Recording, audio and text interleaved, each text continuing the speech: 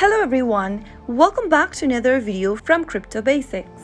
In today's video, I'm gonna guide you through a quick and easy process on how to delete your blockchain.com wallet account. So without further delay, let's get straight to the video. Spot your blockchain.com wallet app from your app drawer and log into your account. Once you're inside the main homepage, tap on the human icon located at the top left hand corner. Before continuing to delete your account, ensure that you've withdrawn all of your crypto and fiat from your wallet. Once you end up in this settings page, scroll all the way down until you see the delete account button under security. Once you spot it, tap on it and then go through the information first. Deleting your account will delete your trading and rewards account as well and you'll be logged out on all of the devices that you previously logged in. If you're sure you'd like to delete your account, you must withdraw all of your funds from your account and wallets since deleting your account is permanent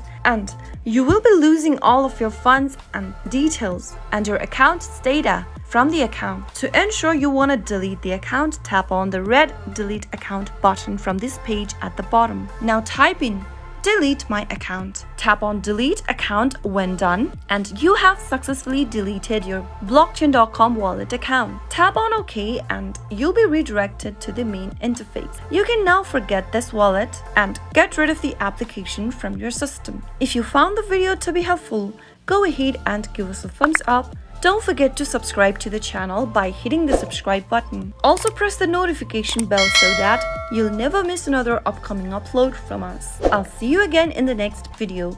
Goodbye till then.